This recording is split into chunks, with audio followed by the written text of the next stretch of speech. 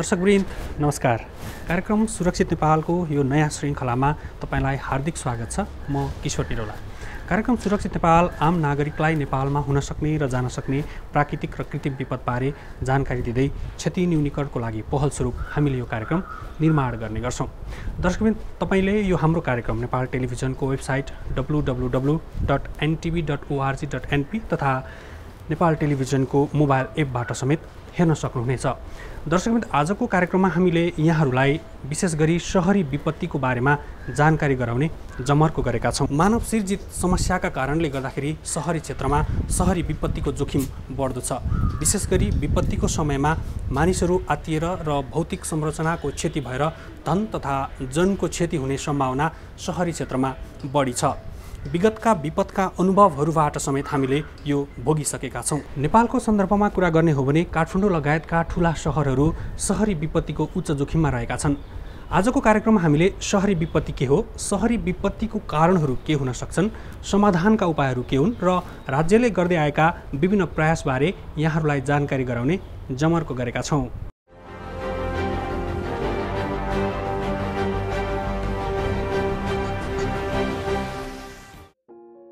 विपद प्राकृतिक मात्र नभएर कतिपय अवस्थामा कृत्रिम वा मानव निर्मित समेत हुने गर्छ।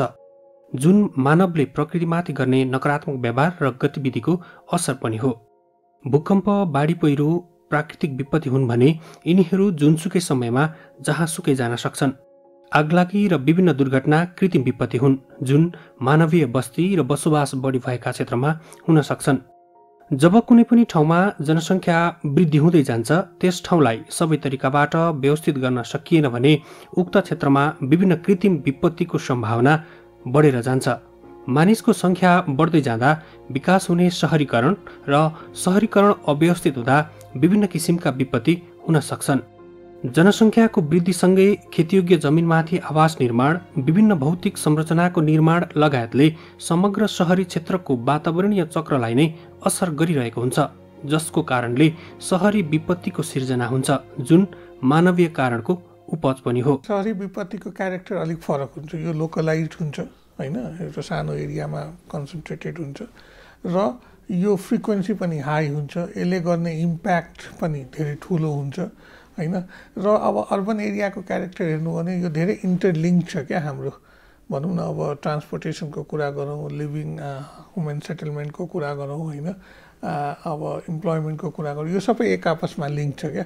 अब हाम्रो ट्रान्सपोर्टेसन यदि बिग्रियो भने हाम्रो इम्प्लोइमेन्ट डिस्टर्ब हुनसक्छ त्यस्तै अब के भन्छ अरू पनि इन्डस्ट्रिज डिस्टर्ब हुनसक्छ होइन? त्यसैलाई यो इन्टरलिङ्केजले गर्दाखेरि पनि यसलाई झन् गाह्रो बनाएको हुन्छ।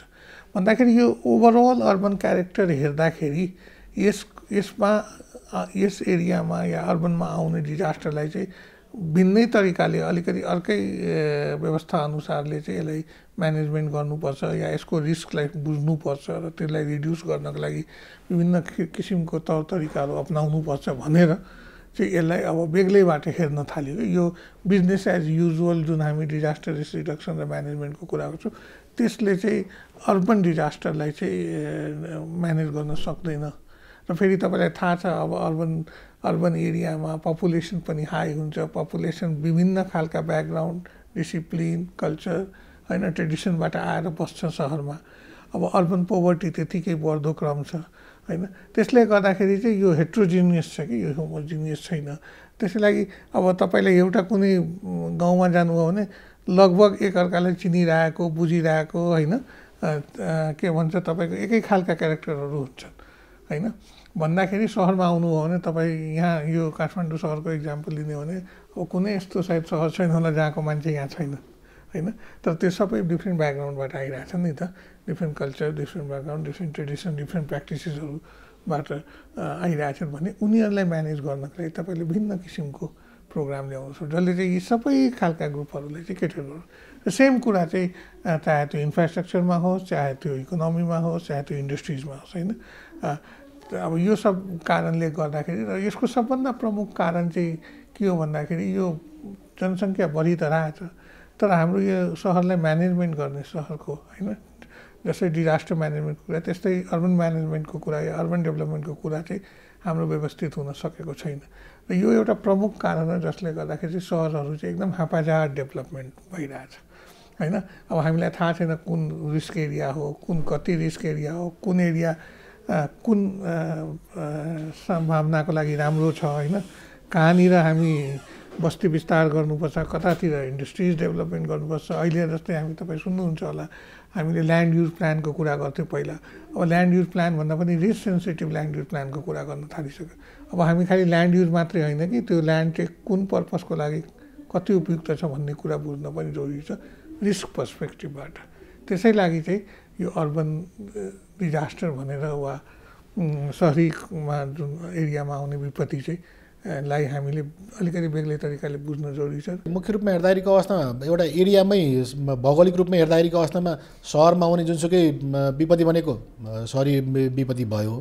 तर अर्को रूपमा हेर्दाखेरिको अवस्था विशेष रूपमा हेर्ने हो भने जुन हामीले बहत्तर सालको भूकम्प पनि हेऱ्यौँ अरू ठाउँमा हेर्दाखेरि ग्रामीण जनसङ्ख्याको रूपमा हेर्दाखेरिको अरू ठाउँमा बढी भयो भने जुन चाप जुन घनत्व बढी जनसङ्ख्या भएको छ भयो ती जन जनघनत्व भएका द जनधनका हानि भएका क्षेत्र त भए नै त्यो बाहेकमा भनेको नै सहरी सौन्दर्यीकरण अहिले अब त्यसको मारवानीको पर्यटनमा पर्ने असर जुन चाहिँ ग्रामीण व्यवहार अलिक प नपर्ने होइन कम हुन्छ। त्यसै गरी अब जुन सहरी वातावरण इकोलो इकोलो इकोलोजीमा पर्ने असरहरू लगायत जुन अघि नै मैले भने विश्व सम्पदामा सूचीकृत भएका हाम्रा सांस्कृतिक त्यो भनेको हामीले युज गर्ने मात्र होइन कि त्यो सांस्कृतिक धरोहर नै नष्ट हुन आउँछ। यस्ता कुराहरू र सँगसँगै अब जुन हामीले वातावरण प्रयोग गर्ने जुन खेल मैदानहरू हुन्छ खुला क्षेत्रहरू हुन्छन् अथवा यसलाई देखिने भनेको मुख्य रूपमा अरू व्यापारिक गतिविधिहरू हुन्छ सबै एकमुष्ट रूपमा हेर्ने हेर्ने भने सहरी वातावरण अथवा सहरी सौन्दर्य बिगार्ने जुनसुकै पनि विपत्ति भनेको सहरी विपत्ति नै हो। सहरी प्रकृति र ग्रामीण प्रकृति परिवेश नै फरक हुन्छ। सहरमा व्यक्तिहरूको मिश्रण त्यतिकै हुन्छ र मुख्य रूपमा सहरमा हुने क्रियाकलापहरू यो एउटा मात्र क्रियाकलाप मिश्रित क्रियाकलापहरू। व्यापारिकदेखि लिएर खेलकुद लगायतका विभिन्न क्रियाकलापहरू शैक्षिक क्रियाकलाप त्यतिकै हुन्छ। र ती क्रियाकलापहरूको घनत्व पनि त्यतिकै बढिरहेको हुन्छ। त्यो भएको कारणले गर्दाखेरि यसलाई जुन सामान्य रूपमा पहिला हेर्ने गरिन्थ्यो एज ए होल राष्ट्रको विपत्ति के हो अथवा विश्व विपत्ति के भइरहेछ त्यसमा सहरमा बस्ने सङ्ख्याहरू पनि जनसङ्ख्या पनि बढ्दै जाने। र सहरमा हुने गतिविधि पनि स्वाभाविक रूपमा बढ्ने भएको कारणले गर्दा त्यसबाट हुने क्षतिहरू अत्यधिक हुने र त्यसको आर्थिक असर पनि धेरै ठुलो हुने भएको कारणले गर्दाखेरि यसलाई विशेष प्रकृतिको रूपमा र सहरमा हुने क्रियाकलापहरूबाट र यसमा जुन विपद हुन्छ प्राकृतिक प्रकोपहरू प्राकृतिक प्रकोपहरू सँगसँगै मानव सृजित विपत्तिहरू पनि यसमा बढी हुन आउँछ ती सबैहरूको एकीकृत रूप भनेको सहरमा हुने त्यसका जुन विपत्तिहरू हुन्छ त्यसलाई चाहिँ हामी सहरी विपत्ति लिन्छौँ। र यसको मैले अघि नै भने यसको मार भनेको देशको आर्थिक अवस्था र आर्थिक क्षेत्रमा ठुलो पर्न आउँछ। त्यो भएको कारणले गर्दाखेरि अहिलेको परिवेशमा जुन दिगो विकासको कुराहरू भइरहेको छ त्यो दिगो विकासलाई अगाडि बढाउनलाई सहरी विपत्तिलाई हामीले घटाउन न्यू न्यूनीकरण गर्न सकेनौँ भने त्यो दिगो हुन सक्दैन भन्ने हिसाबले अहिले त्यसको महत्त्व बढ्दै गइरहेको छ।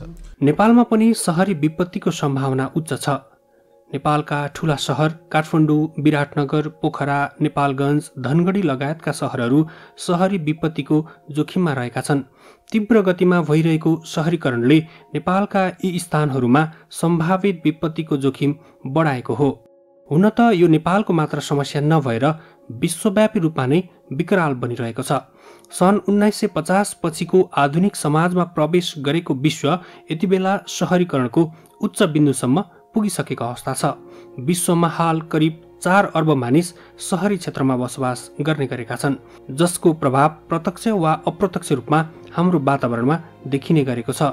सहरी इलाकामा बसोबास गर्ने आम मानिसले प्रकृतिमाथि गर्ने व्यवहार नै सहरी क्षेत्रमा देखिने विपत्तिको प्रमुख कारण देखिँदै आएको छ। सबभन्दा पहिलो कुरा त के भन्दाखेरि हामीसँग एउटा प्लान्ड एप्रोच छैन सहरलाई विकास गर्ने। अब तपाईँ देख्नुहुन्छ खास गरेर थर्ड वर्ल्ड कन्ट्रीमा धेरै सहरहरू यसरी नै बिस्तारै आफै ग्रो भएर गइरहेको हुन्छ होइन? अब एउटा बाटो खोल्यो भने त्यसको छेउछाउमा डेभलपमेन्ट रिबन डेभलपमेन्ट भन्छु त्यो डेभलपमेन्ट सुरु भइहाल्छ।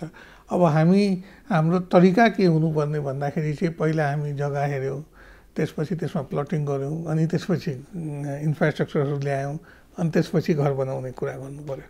हामी कहाँ के हुन्छ भन्दाखेरि जग्गा प्लट गरेर घर बनाउँछौँ अनि त्यसपछि पानी खोज्छौँ बिजुली खोज्छौँ होइन रोड खोज्छौँ। अनि त्यो सबै गर्दाखेरि चाहिँ त्यो पहिल्यै नसोचेर गर्दाखेरि चाहिँ त्यो प्लान हुँदैन।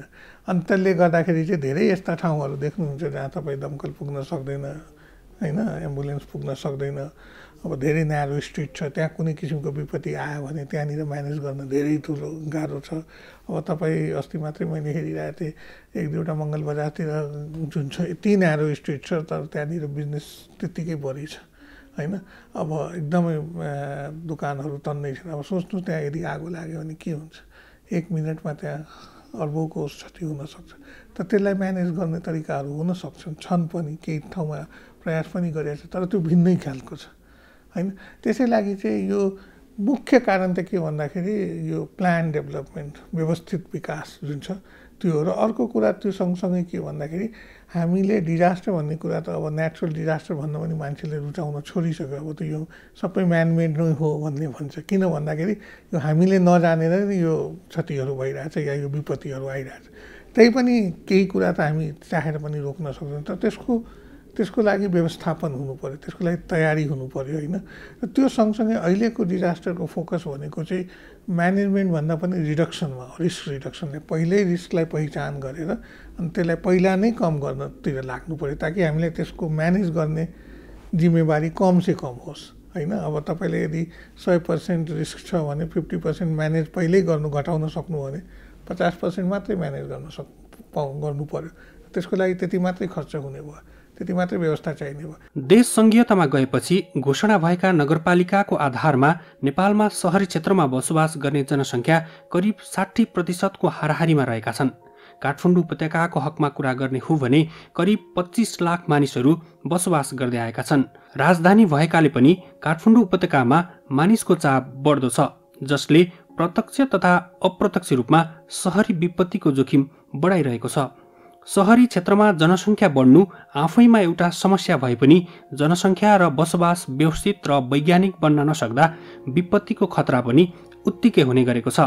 मुख्य रूपमा सहरी क्षेत्रमा निर्माण भएका कमजोर भौतिक संरचना र यसबाट हुन सक्ने मानवीय क्षति सागुरा सडक र आगलागीको जोखिम खेतीयोग्य जमिनको चक्लाबन्दीले देखिन सक्ने अतिवृष्टि र सहरी बाढी समुद्र सतह बढ्न सक्ने खतरा सहरी खडेरी तापमानमा वृद्धि लगायतका विपत्ति सहरी क्षेत्रमा देखिने विपत्ति हुन्। साथै फ्लू लगायतका चाँडै सर्ने सरुवा रोगहरूको महामारीमा सहरी क्षेत्र बढी जोखिममा देखिने गरेको छ। अहिले पनि अब भनौँ न अहिले तुरुन्तै कोरोना भाइरसको यति ठुलो युएन क्राई भइरहेछ होइन? अब चारैतिर यो पुरै वर्ल्डमै यसले चाहिँ इम्प्याक्ट गरिरहेको छ। अब स्वाभाविक रूपमा सहरी एरियामा यसको बढी इम्प्याक्ट देखिन्छ। किनभने मैले अघि नै भनिहालेँ सहरमा के भन्दाखेरि विभिन्न खालका मान्छेहरू आउँछन्। किन काठमाडौँमा हामी बढी तर्सित छौँ? सायद विराटनगर धरान रैथरी वा उता ताप्लेजुङ र गोर्खामा कम छौँ। किन भन्दाखेरि यहाँ इन्टरनेसनल एयरपोर्ट छ? थरी थरीका मान्छेहरू आउँछन्। टुरिस्टहरू पनि पहिलो टेक्ने ठाउँ यही हो अनफर्चुनेटली होइन? भन्दाखेरि यहाँनिर विभिन्न किसिमका मान्छेहरू यहाँ छन्। विभिन्न ठाउँबाट आउँछन् विभिन्न ब्याकग्राउन्डबाट आउँछन् होइन? विभिन्न परिस्थितिहरूबाट आउँछन्। अनि त्यसले गर्दाखेरि चाहिँ यहाँनिर त्यो जोखिम बढी छ। होइन कसैले पनि कहीँबाट लिएर आउन सक्छ यहाँनिर। तर अब गोर्खासम्म पुग्नको लागि त समय लाग्छ सायद त्यो पिरियडमा हामी म्यानेज गर्न सक्छौँ। तर यहाँनिर बढी कम्पेरिटिभली त्यहाँ छैन भन्ने कुरा होइन तर यहाँ बढी छ। त्यसै लागि चाहिँ के भन्छ यो एकदमै डिजास्टर मैले अघि नै भनिहालेँ नि कुनै एउटा सेक्टरको चिजै होइन। है र हेल्थ त एकदम क्लियर हो एपिडेमिक्स जुन भन्छौँ हामी त्यो त ठुलो डिजास्टर हो। यसले चाहिँ मै यो फैलिएर हजारौँ हजारौँ मान्छे मरेको केसेसहरू छन् होइन? भन्दाखेरि त्यसको पनि तयारी हामीले गर्नुपर्छ। जनसङ्ख्याको वृद्धि अव्यवस्थित सहरीकरण निजी तथा सार्वजनिक सवारी साधनको दिन प्रतिदिन बढ्दो सङ्ख्या नेपालको सहरी क्षेत्रको मुख्य समस्या हुन्। यी समस्याका कारण हरेक सहरको दिगो आर्थिक विकासमा समेत अवरोध सिर्जना हुने खतरा देखिन्छ।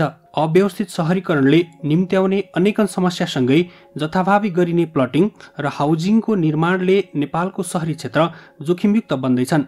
बढ्दो जनघनत्वका कारण सहरी क्षेत्रमा खुल्ला जमिन नभेटेला कि भन्ने चिन्ता बढ्दै गएको छ। बिना मापदण्डका घर तथा भौतिक संरचनाको निर्माणले समेत सहरी विपत्ति निम्तिने खतरा देखिन्छ काठमाडौँ उपत्यकाको हकमा कुरा गर्ने हो भने आसपासका क्षेत्रमा ओह्रालो र भिरालो जग्गामा जमिन पुरेर घर बसाउनु निकै जोखिमपूर्ण हुन्छ। उक्त क्षेत्रमा अधिक बालुवाको वर्चस्व हुने भएकाले निर्माण भएका संरचना भत्कने खतरा हुन्छ। पूर्व माटोयुक्त जमिनमा चाप पर्न गई बालुवाभित्रको जमिन भाँसिन्छ र बस्ती जोखिममा पर्छ। अनियन्त्रित सहरीकरणका कारण प्राकृतिक स्रोतको निर्मम दोहनले सहरी इलाकामा बाढीको जोखिम पनि उत्तिकै थपिदिएको छ। हिउँदमा सुक्खा देखिने सहरी नदीनालाहरू बर्खायाममा बाढीको रूपमा सहर प्रवेश गर्ने गरेका छन्। खुम्चिएको नदीनालाले सहरी बसोबासलाई हरेक वर्ष अस्तव्यस्त बनाउने गरेको दृष्टान्त हाम्रो माझ रहेको छ। हुन त काठमाडौँ लगायतका सहरहरूमा सडकदेखि प्रत्येक घरहरूका खुल्ला ठाउँ माटो पुरिने गरी पक्की गरिएका छन्। जसले आकाशबाट परेको पानी सिधै जमिनमा नगएर सडकमै बग्ने गर्छ जुन सहरी बाढीको अर्को प्रमुख कारण हो। सहरी क्षेत्रमा देखिन सक्ने अर्को प्रकोप खडेरी पनि हो। वन विनाश विश्वव्यापी तापक्रममा वृद्धि अत्याधिक हरित ग्यास उत्सर्जन आदि जलवायु परिवर्तनका कारणहरू हुन्। जलवायु परिवर्तनको कारण नेपालको ग्रामीण क्षेत्रमा मात्र नभई सहरी इलाकामा अनावृष्टि अतिवृष्टि समयमा पानी नपर्ने वर्षाको गतिमा परिवर्तन आदि घटनाहरू देखिन थालेका छन्। खडेरीले गर्दा कृषि उत्पादनमा कमी खानेपानीको हाहाकार जैविक विविधतामा ह्रास आदि असरहरू सहरी क्षेत्रमा देखा परेका छन्। साथै पशुपन्छी तथा जङ्गली जनावरले आफ्नो वासस्थान गुमाउँदै गएका छन्।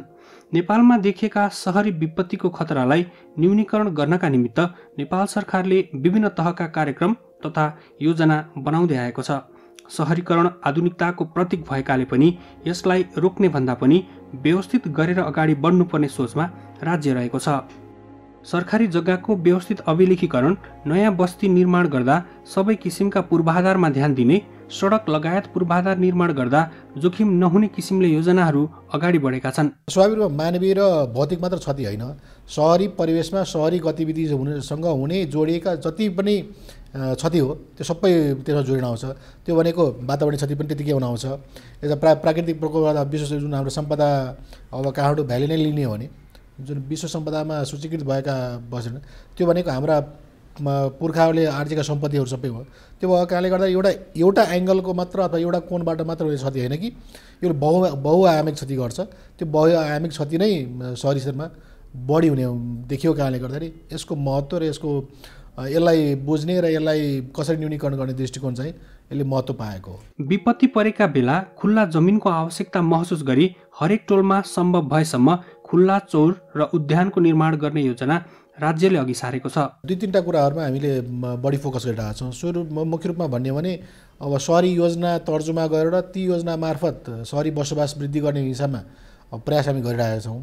तर अहिले पनि व्यक्तिगत अथवा निजी क्षेत्रबाट भएका जुन चाक्लाबन्दीहरू अथवा किताब किताब काँडहरू भइरहेछ त्यसमा मान्छेको आकर्षण अहिले पनि घटेको छैन। त्यो प्रयास हामीले त्यसलाई नेपाल सरकारले काठमाडौँ उपत्यका मात्र होइन कि अन्य ठाउँमा पनि जग्गा कार्यक्रम गरेर व्यवस्थित बसोबासो कार्यक्रम गरिरहेका छौँ जसले गर्दाखेरि सहरी स्तरमा हुने विपद न्यूनीकरण गर्छ। बे विपद भने विपदबाट पनि असर न्यूनीकरण गर्छ। र सँगसँगै हामीले सहरी क्षेत्रमा जुन भवनहरू निर्माण भइरहेका हुन्छन् ती भवनहरू हुन् त त्यो सहरी स्तर मात्र होइन कि देशभरिकै लागि राष्ट्रिय भवन संहिता जुन छ त्यो भवन संहितालाई नियमन गर्ने काम सहरी विकास मन्त्रालय र यो मन्त्रालय अन्तर्गत रहेको यो सहरी विकास तथा वन विभागले गर्ने हो। तर त्यसको फोकस मुख्य रूपमा चाहिँ सहरीसँग हुने भएकोले अहिलेको ऐनले त्यसको मुख्य जिम्मेवारी महानगरपालिका नगरपालिकाहरूले दिएको उपमहानगरपालिका नगरपालिकाहरूले दिएको छ। तर त्यो अनुसारले भइरहेको छ छैन भनेर अनुगमन गर्ने दायित्व चाहिँ त्यो ऐनले हाम्रो विभागलाई दिएको छ। त्यसमा चाहिँ अहिलेको संहिताको परिवेशमा त्यसले परिमार्जित गर्ने क्रममा हामी छौँ। त्यो प्रयास सुरु भएको छ। तर अहिलेकै ऐनकै कुरा गर्ने हो भने त्यहाँ भइरहेका जुन भवनहरू छन् ती भवनहरूलाई कसरी हामीले भूकम्प प्रतिरोधी बनाउन सक्छौँ अथवा बहु प्रकोप प्रतिरोधी बनाउन सक्छौँ त्यसमा हामीले ध्यान केन्द्रित गरेका छौँ। र अर्को पाटो भनेको विपद आउँदाखेरिको अवस्थामा मान्छे जुन अब हुलमुलमा निस्किने भिडभाडमा जाने जुन प्रवृत्ति बढ्दाखेरिको अवस्थामा कम्तीमा आश्रयस्थल कहाँ पाउने त? अथवा खुलासरी कहाँ हुने भन्ने हिसाबमा गएर नेपाल सरकारले अब काठमाडौँ भ्यालीको मात्रै कुरा गर्ने भने अस्सीभन्दा बढी ठाउँमा चाहिँ यो खुला क्षेत्र होबाट पहिचान गरिसकेको छ। हुन त यसको प्रतिशतमा हेर्ने भने सङ्ख्या एकदम थोरै छ प्रतिशत। तैपनि त्यसलाई पहिचान गरेर त्यसमा व्यवस्थित के कस्तो गर्न सकिन्छ ती कुराहरूमा चाहिँ हामी गइरहेका छौँ।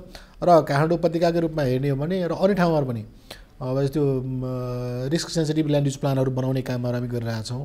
यस्ता गतिविधिहरू चाहिँ हामीले गरिरहेका छौँ। तर त्यसको चाहिँ असर चाहिँ देखिन अलिक समय लाग्छ। र त्यो भनेको अलिकति सीमित दायरामा देखिएको हो। त्यसको लागि हामीले कसरी बढाउँदै जाने हो त्यो प्रयास चाहिँ हामी गर्ने तर्खरमा छौँ। सहरी क्षेत्रलाई मात्र हेर्ने भने हाम्रो राष्ट्रिय सहरी नीति दुई हजार चौसठी छ। तर त्यसलाई अहिले अब संहिताको परिवेशमा परिमार्जन गर्ने काम मन्त्रालयबाट सुरु भएको छ।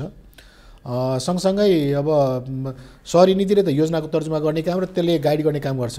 यो सँगसँगै हामीले राष्ट्रिय राष्ट्रिय सहरी विकास रणनीति नोट्स पनि नेपाल सरकारले बना स्वीकृति गरेर सहरी विकासले कसरी व्यवस्थित गर्ने त्यसमध्येको एउटा पिलर भनेको रेजिलियन्स पनि आएको छ। राष्ट्रिय सहरी विकास रणनीति अन्तर्गत। त्यो रेजिलियन्सलाई पनि ध्यान दिएर हामीले प्लानिङ कसरी गर्न सक्छौँ सहरी गतिविधि कसरी बढाउन सक्छौँ भन्ने हिसाबमा राखिएको छ भने यसको लागि अब मुख्य रूपमा भवनहरू अत्याधिक बढ्ने र भवनको सङ्ख्याहरू बढी हुने भएको कारणले गर्दाखेरि भवन ऐन दुई हजार पचपन्न आएर कार्यान्वयन भइरहेको छ। र त्यो भवन ऐन दुई हजार पचपन्न अन्तर्गत भवन संहिता पनि दुई हजार साठीमा देखि नेपाल नेपालभरि लागि लागु भइरहेको अवस्था छ। यी भनेका गतिविधिलाई निर्माणलाई र सहरी योजनालाई कसरी व्यवस्थित गर्न सकिन्छ भन्ने हिसाबमा हो। र यसको प्रत्यक्ष रूपमा अहिले हामीले गरेको काममा हेर्ने हो भने सहरी विकास मन्त्रालयको नेतृत्वमा दुई हजार बहत्तर सालको भूकम्प आइसकेपछि हामीले सहरी योजना बस्ती विकास सहरी योजना तथा भवन निर्माण मापदण्ड दुई हजार बहत्तर त्यो भनेको विशेष गरी सहरी क्षेत्रलाई फोकस गरेर मापदण्डहरू निर्धारण गरिएको डकुमेन्ट हो। यस्ता हामीले नीतिगत कामहरू पनि हामीले गरिरहेका छौँ भने सँगसँगै स्थानीय तहसँग मिलेर भवन संहिता कसरी लागू गर्ने हो भवन संहिता लागू गर्दाका फाइदा के हुन्छन् त्यस्तै गरिकन यसलाई कसरी यसलाई यसमा आएका चुनौतीहरू कसरी हटाउने हो र निर्माणमा संलग्न हुने जुन कालीगर तालिम कालीगरहरू हुन्छन् उहाँहरूलाई कसरी भूकम्प प्रतिरोधी तालिम निर्माणमा सक्षम बनाउन सकिन्छ।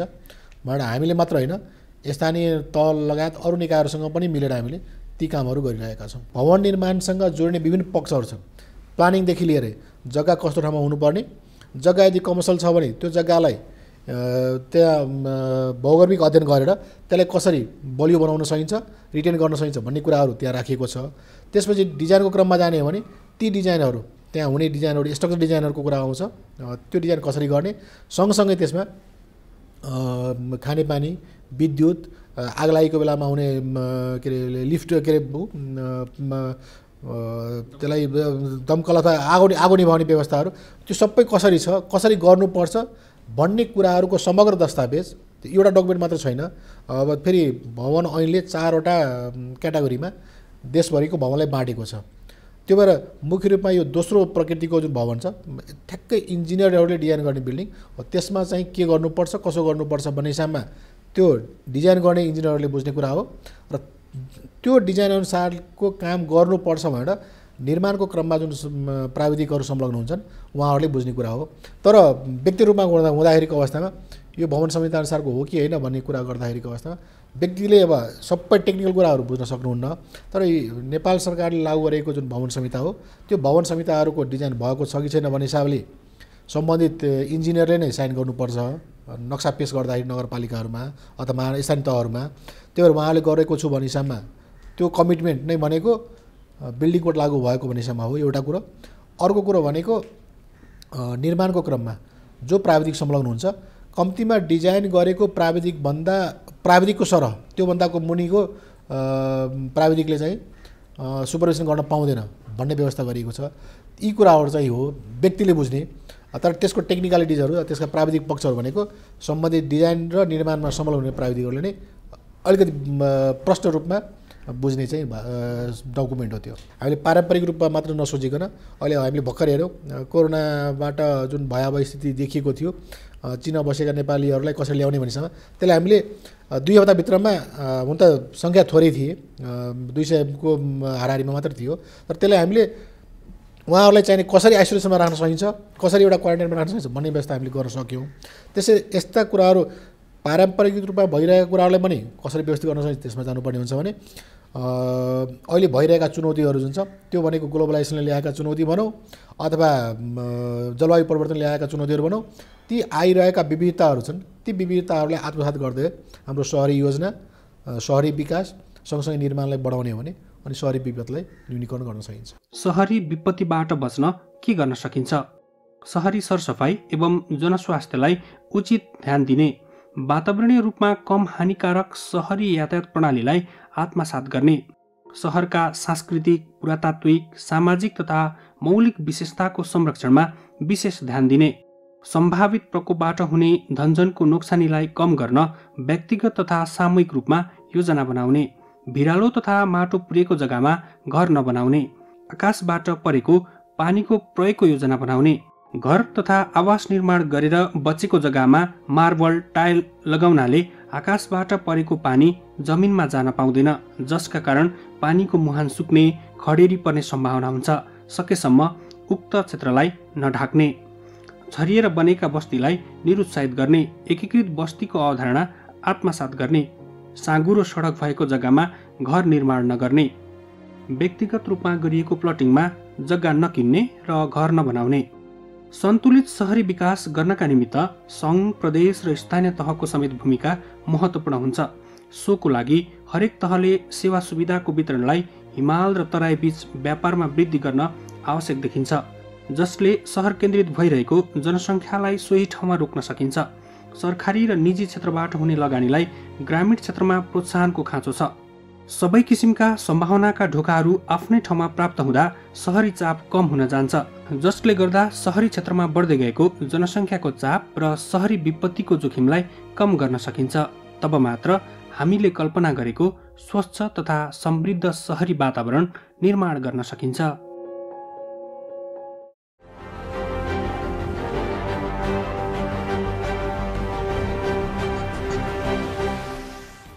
सचेत र सबल समुदायमा विपत्तिको असर कम हुन्छ। विपत्तिबाट बच्नका निमित्त समुदाय स्तरबाट नै विभिन्न किसिमका पहल गर्ने हो भने यसबाट हुन सक्ने क्षतिको दरलाई निकै कम गर्न सकिन्छ। अनि मात्रै हामीले कल्पना गरेको सबैको सुरक्षित सहर निर्माण गर्न सकिन्छ। हस्त दर्शकबिन आजको कार्यक्रमबाट म लगायत मेरो सम्पूर्ण युनिटलाई बिदा दिनुहोस्। अर्को हप्ता अर्को विषयका साथ यहाँहरूमाझ उपस्थित हुनेछौँ। नेपाल टेलिभिजन हेर्दै गर्नुहोला।